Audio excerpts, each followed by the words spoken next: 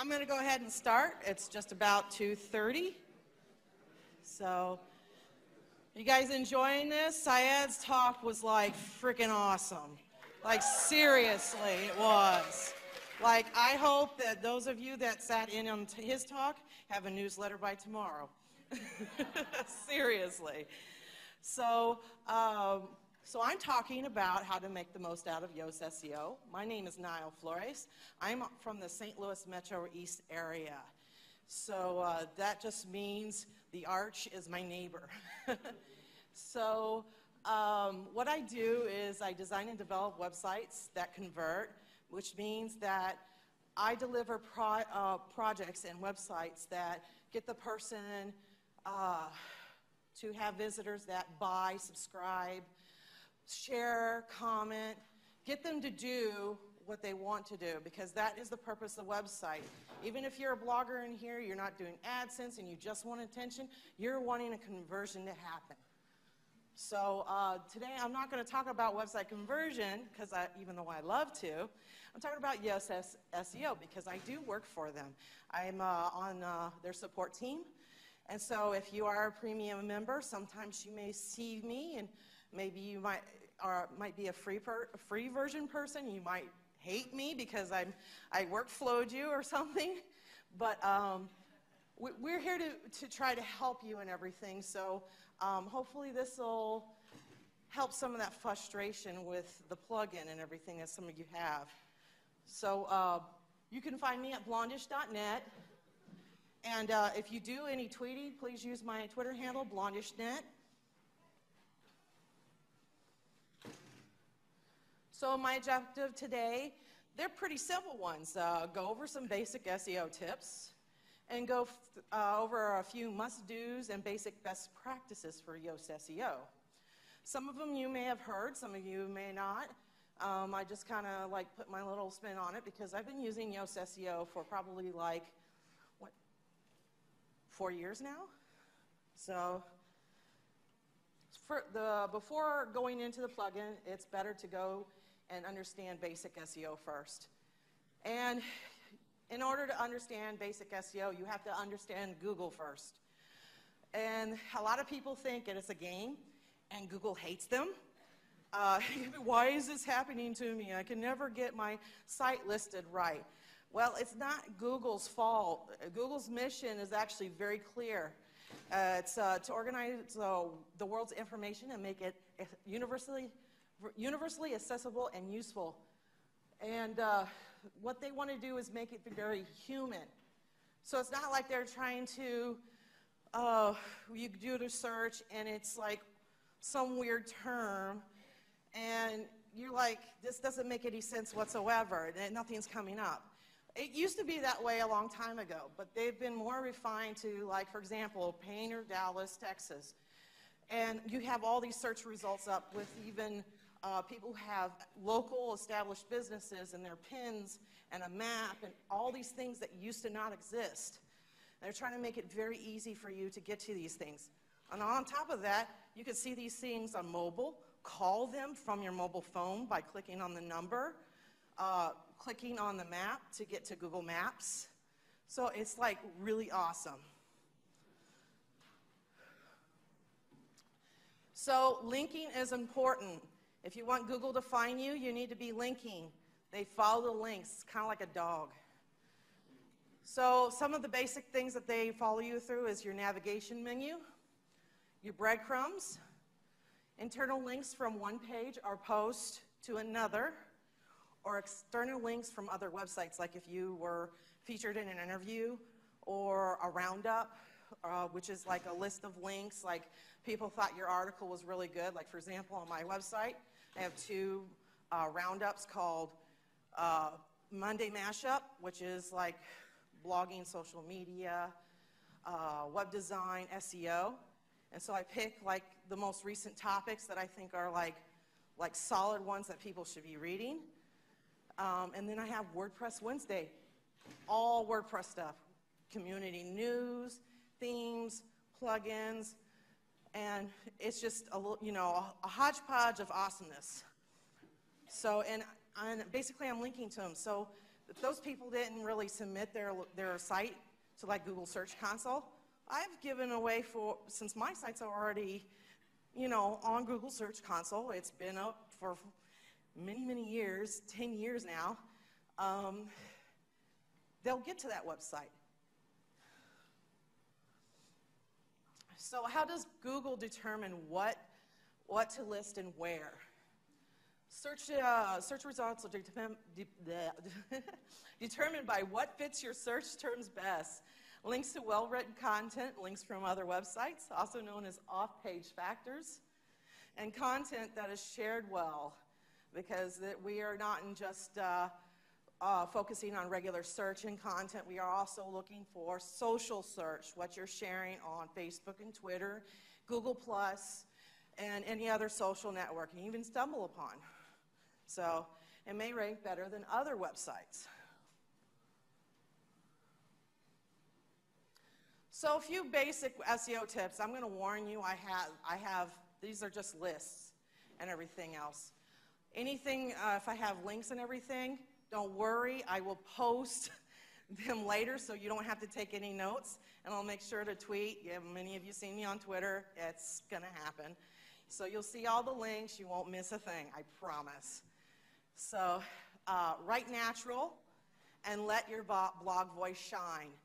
Um, do not go in there and put your keyword in there and say, I got to put my keyword in here this many times because you're going to force yourself to focus on that and you do not sound natural at all.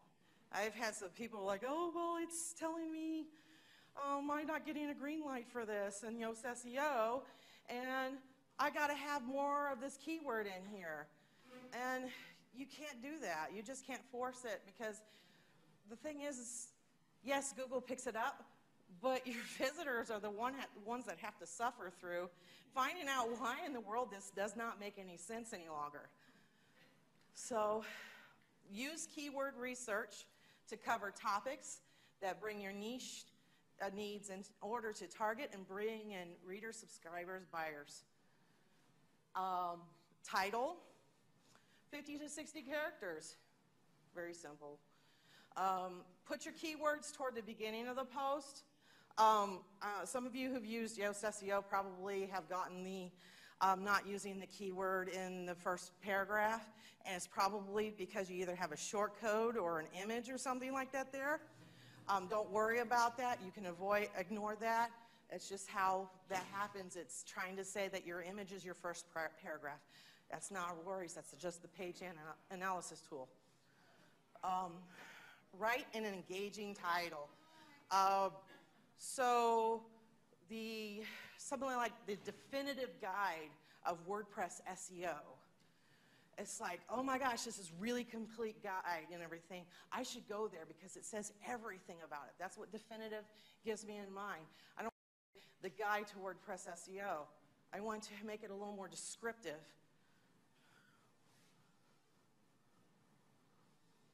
So actually that also goes into my re cool resource links. Uh, one of my friends, uh, she was the keynote speaker at uh, WordCamp Seattle, the beginner one, and her name was Kimberly Morris Gauthier. She uh, actually introduced this uh, little cool little tool that you can uh, generate blog titles. And for any niche, basically you put the keyword in and you can come up with all sorts of wonderful and colorful titles. Um, for research and everything, I really like the, the, the, other three tools like Google AdWords Keyword Planner, Yoast Suggest, and Google Trends. That's pretty much aligned with what Yoast actually says on what their tools that they recommend. Google Trends is really good so that you can keep on hot, on hot topics. Like, for example, if any of you are doing like fashion or news or anything that has current news, that would be a really good place to go to.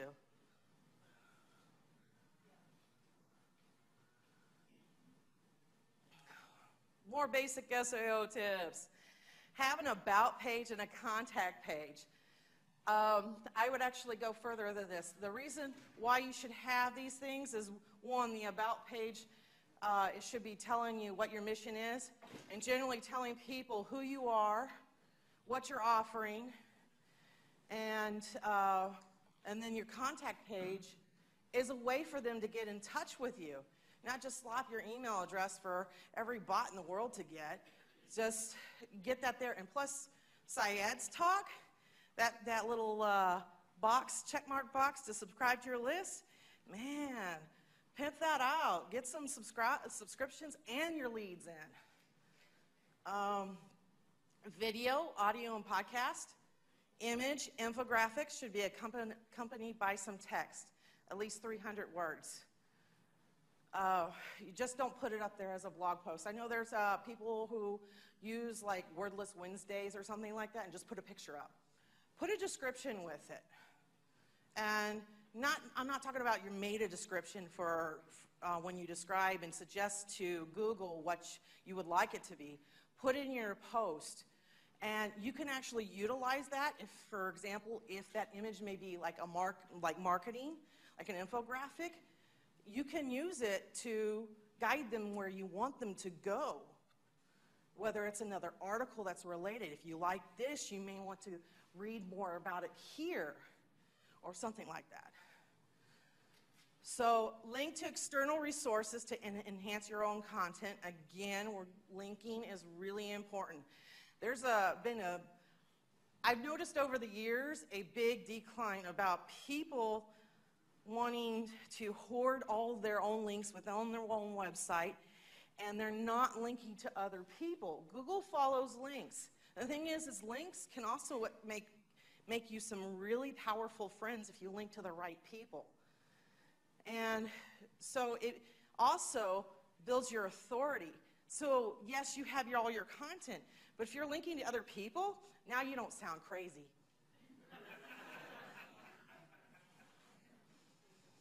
So, make sure your site is mobile responsive. I'm sure you heard mobile Mobilegeddon and everything.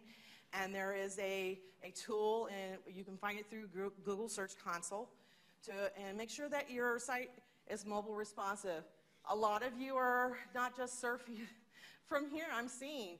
We have different sizes of laptops. Uh, she's got several different devices right there. I mean, uh, there's several different sizes, and everybody is surfing, whether they're buying something or reading your website, whatever it might be. Make your website responsive so that whatever they prefer, they'll see it. It's also part of accessibility. Site speed is important. Under four seconds page load time is ideal. Under one now? Goodness gracious, that was three months. Three months ago, they were saying four on the page. Okay, hurry up and do one second. I challenge you to do it today. but I would actually say four seconds is actually really gener- a really good time to go and get your site under. If you can get it to two seconds or one second, great. Um, especially the front page. Start with that first.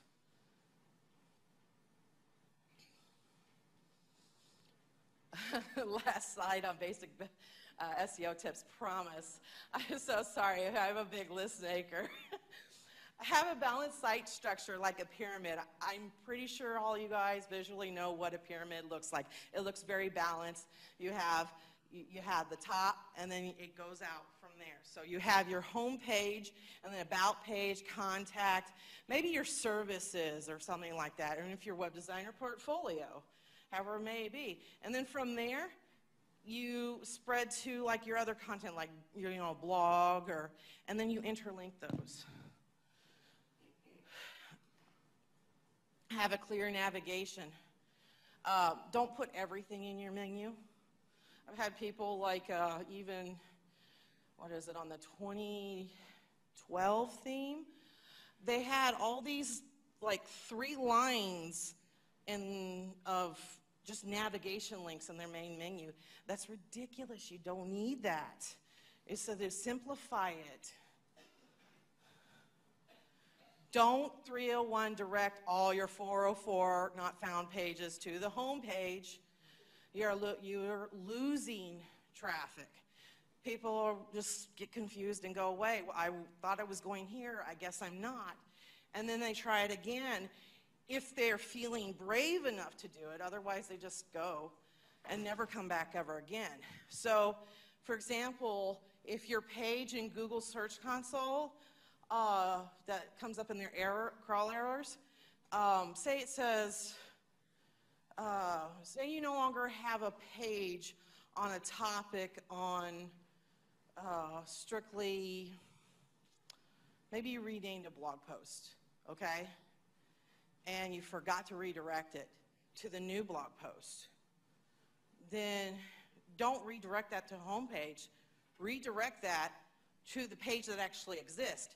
And if there's no other that exists there, then finally, yeah, yeah you can do, do that. Or you can uh, make a special page, customize your 404 page to make sure, like, for example, I like to do like a, you know, a form. You said, you know, I see that you were searching for this, and I'll get that in my form. Uh, that that's what you were searching for, and then give you the opportunity to give me feedback. And all of a sudden, that gives me fuel to replace content that you were actually looking for, whether it's uh, for my website or maybe I'm saying, well, I no longer do this kind of stuff. But I know somebody who does who's a really good friend. Like, for example, Chris Lema or something like that would have some awesome article about membership plugins. I'd be like, he's the one to go to. So, um, have, a clean, have a clear permalink stru- structure. Post name is a really good one. By, I'm glad that it took a long time for them to add it as an option in the WordPress admin. And when they added it, I was like, I celebrated because forever I was typing for post name. And can you keep those questions till the end? Sorry? Hmm? Oh. For our membership plugins? ChrisLema.com.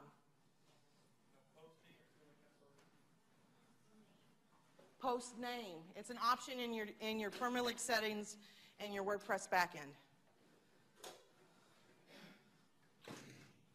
And if you need to know how to clean your site structure, I am leaving a link up here so you can go into it further.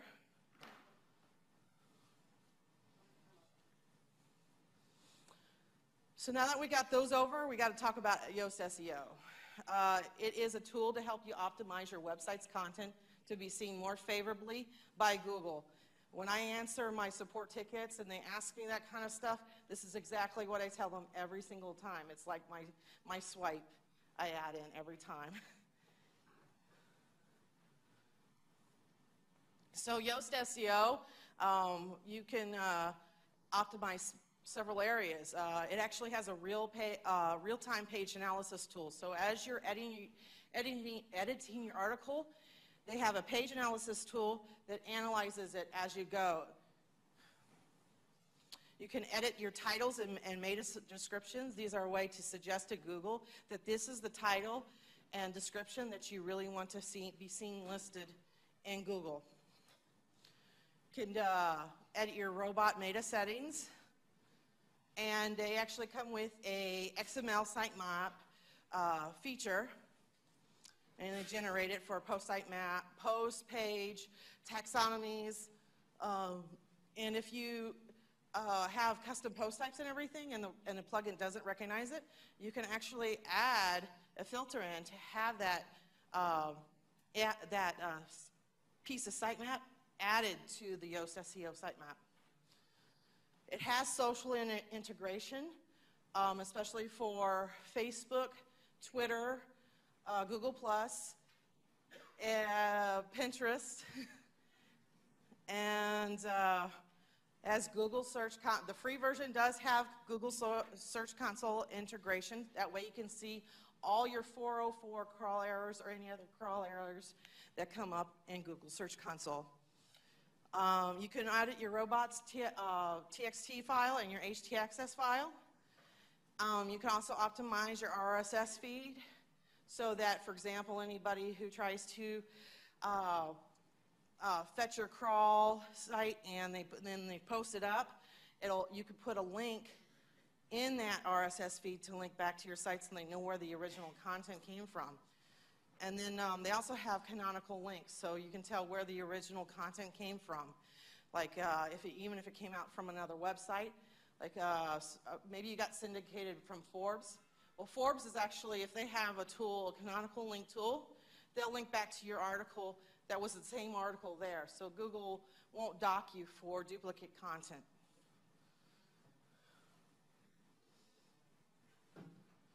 Um, I'm gonna a lot. Some of you already have like the most current version of Yoast SEO.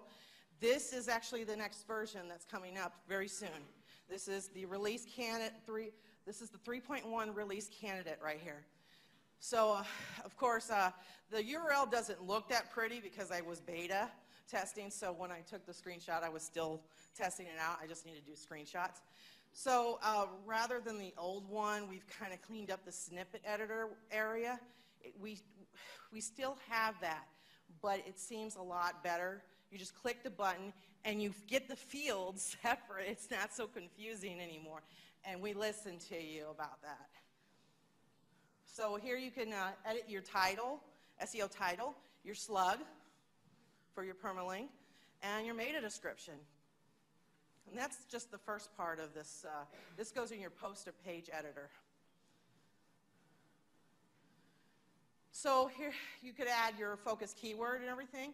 I actually, you know, used one of my articles, existing articles, to put in the data, and uh, so my con my convert Drupal to WordPress one. And so basically, uh, this is all the, the, the, the actual analysis of that post. And so, yes, it has a stop word. It's telling me that there's two in there. Well, I, I actually need it because that's actually how it's supposed to be out there on, on Google, convert Drupal to WordPress. Uh, so it tells you uh, I have an image. Or sorry, actually I have, uh, this post has been recently updated and blah, blah, blah, something like that. Um, so it's, of course, the focus keyword's not going to be in the first paragraph. That's true. So I got a red. So it kind of gamifies how you do it. Some people don't like it, but some people really like it, really do like it, and some people really like it so much that they're, they're that type A personality. Like, I need it to be green. I will get into that eventually. So now that the features and everything, I'm just giving you some screenshots. Um, if you're using uh, Yoast SEO, we actually have uh, uh, given you a better way to enable and disable uh, sitemap functionality instead of a little checkbox that's kind of hard to click because it's so small. and then uh, when you enable it, it this uh, the other screenshot to the right just shows you what, what the sitemap looks like. So you can edit your titles and metas from the individual posts, or, but you can also edit them generally. So say you really aren't being picky, and you don't really need to like customize a post, you could just fall back on your on your general template that you've come up with. And there's variables and everything. We give you, there is a way in that back end to be able to, there's a drop down like a screen options and it gives you all the variables that you can use, like for your title, uh, the page separator, your site name, whatever the way that you want it to be seen, you can suggest it that way. You can also uh, select meta robots for indexing or no indexing. Um, you can also, if you prefer, if you are writing totally evergreen content, which means that whatever you wrote five years ago, is still valid, valid information today. You can hide the date in the snippet preview, which if you blog and you come up with the search results, some of you have probably seen this in blogging, that there's a date before the description. This allows you to turn that, you know, take that out there, hide it. And uh, you can also control whether you want, you really want the Yoast SEO meta box to show for that post type or taxonomy or your archives or whatever it might be. So um, one of the cool things I kind of mentioned is social SEO, uh, social profiles and open graph. So um, you can, the great thing about this is it allows you to customize how you want your post to be seen on Facebook, Twitter, Pinterest, and everything else. So if you, if you actually fill out all this stuff, and even if you connect it to like a Facebook admin and insights, you can, you can even track this kind of stuff.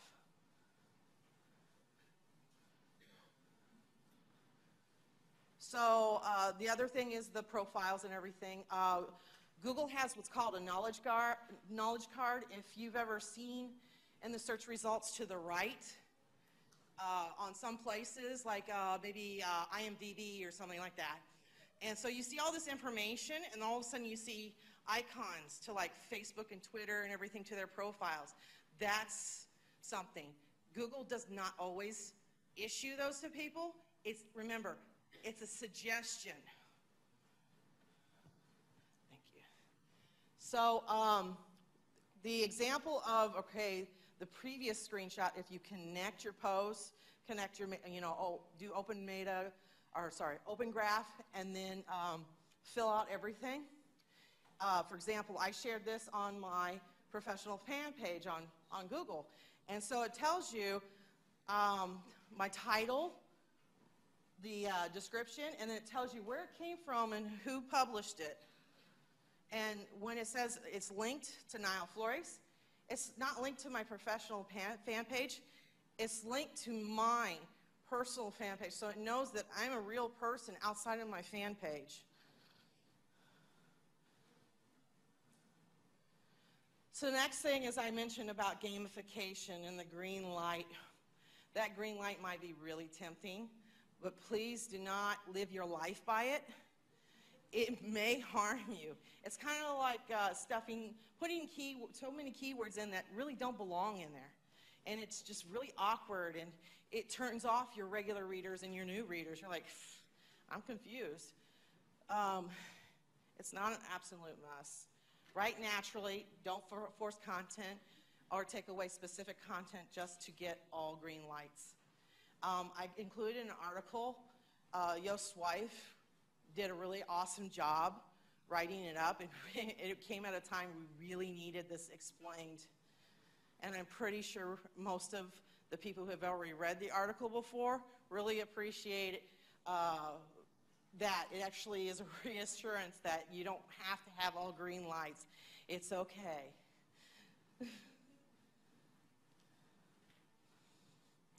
Yoast SEO best, uh, best practices, titles, and descriptions. While Google, Google ultimately makes the decision on what's the best title for your article is, don't give up. Make sure to set your titles and meta um, templates in your WordPress admin under SEO, titles, and meta. Sometimes you will need to edit the individual post or page titles if you need, to, need it to be different from your settings, just like I mentioned earlier. Yoast SEO best practices XML sitemaps. Enabling the XML sitemap, sitemap feature is only half the work. I get a lot of people, I have to ask them, did you submit your site to Google Search Console? Remember, Google's following the links. So if you're really new, that's the fastest way to go for Google following the link if you submit it to them in the first place. Uh, images. Don't forget to label your alt tags in your images. Uh, preferably put your keyword in it if you, at least one of them. Don't use huge images, scale or resize them. Label the image file with the keyboard, like just I said. Um, I linked to a few things on there. Really handy if you want to learn more about it. Um, on don't block your CSS or JSS files. Unfortunately, people still are having this issue, and that's fine. There's a way to do that. Uh, Google can't crawl your site or render it properly, and basically, if you've submitted as a Google Search Console, you could actually see the line that they're having issues with. It'll have a little caution right next to that line. So you need to either change it or take, take it off. Don't, uh, don't block your WP admin or WP includes because they have scripts in there that help your site be seen properly in the right order. Um, otherwise, it comes out like uh, whenever your style sheet fails. So that's how Google's going to see it. And that's not cool. Write at least 300 words. I know some of you aren't really the biggest writers in the world, or sometimes you're so busy. Um, 300 is the minimum magic number of words you should be writing. This includes for products, images, video, and audio content. Don't just post them alone. Of course, like I said earlier, have a mobile ready website and make it or make it responsive. Accessibility do, really does matter. Just because you can surf your own website doesn't mean everyone surfs and processes your website in the same manner. Make sure your website is accessible. I tell you, really small text, like gray. Uh, there are a lot of legally blind people in this world. I, said, I think another accessibility, one out of five of your visitors are, have a, uh, an issue with accessibility whenever they come to somebody's website. Um, that's pretty serious. So you need to think about those people. And I'm not talking about old, elderly people, I'm talking about young people. My best friend, she's 35. She's actually legally blind. She can't see gray text. Make your post easy to read. Well, unless you're like an academic and your target audience is an academic, yes, then fine. Bring out the big, big dogs when it comes to words. So don't use a lot of big, uh, otherwise don't uh, use a lot of big, big and fancy words. Your, re your readers need to understand you. And also uh, break, up your, break up your paragraphs. Vary the length of the uh, paragraph. Walls or text are very daunting, especially for people who are dyslexic. I'm dyslexic. If you have more than nine lines going, I, I, I have to really look at it closely and it's slower and it's harder to read. Hmm? That's fine. Um, that was the last one. um, so, are there any questions?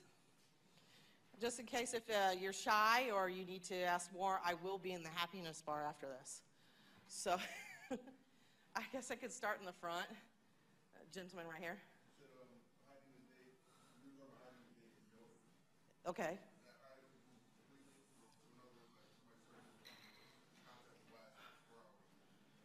Okay, so he was asking about hiding, hiding the date and everything, if, uh, if it totally, like Google doesn't even know it's hidden and everything.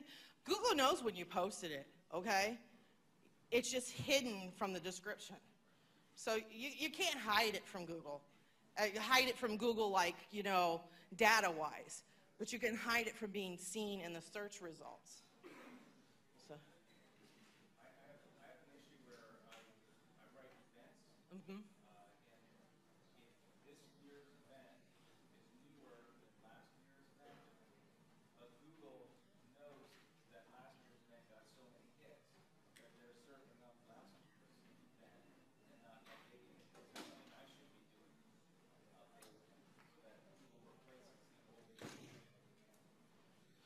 So start writing content more around that, that event. Uh, okay.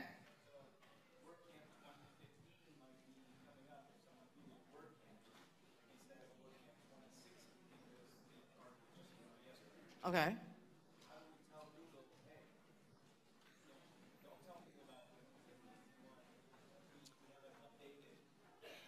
Okay, so um, it's on updating content, like for example, an event that was like last year, and then I'll, he's posting new content and everything.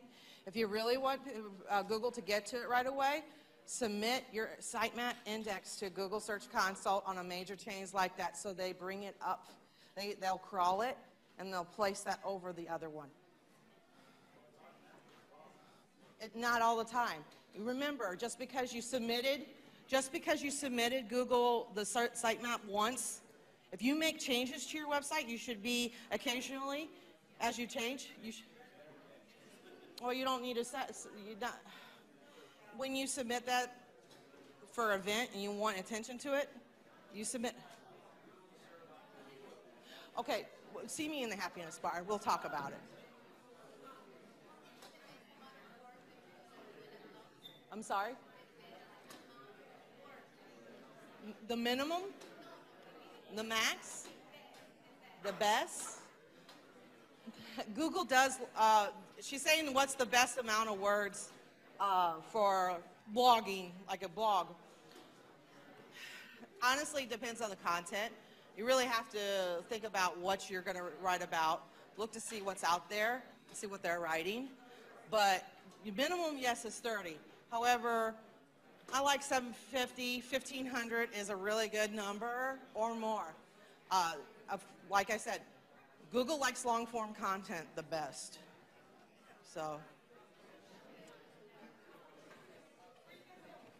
Okay, I'll have to see you in the happiness bar. Right, I guess everybody's going to go down. Um, if you have any questions, you can see me in the happiness bar, okay?